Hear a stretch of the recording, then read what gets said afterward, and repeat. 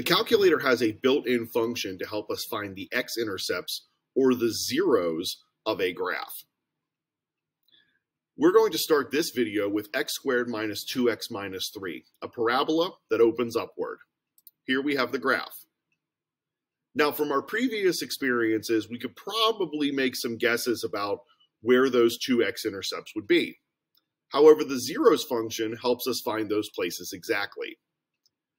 Once we press second and enter the calc menu, which is the secondary option of the trace button, in the calc menu, we have option number two, which is zero. This will help us find the x-intercepts. So we arrow down once to two, we choose the zero. Similar to the maximum and minimum function on the calculator, we need to give the calculator a left bound and a right bound for identifying the intercepts. So I move my cursor to the left of this intercept that looks like it's right around negative one, and I press enter. Then I move to the right of it, and I press enter. And when these little arrows come up at the top, that's the calculator's way of telling you that we are looking in that region only. Once I make my guess, which really can be anywhere in that space, but it's a little bit nicer for the calculator if you try to get close to the intercept, and it finds the zero at negative one. If a function like this has more than one x-intercept, you simply just repeat the process again.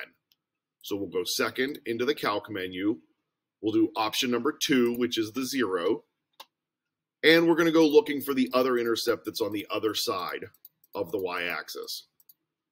So we'll choose enter here to the left of it, and then we'll go to the right of it.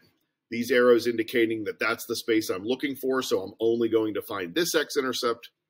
I get close to be nice to the calculator, and I find my other zero is at 3.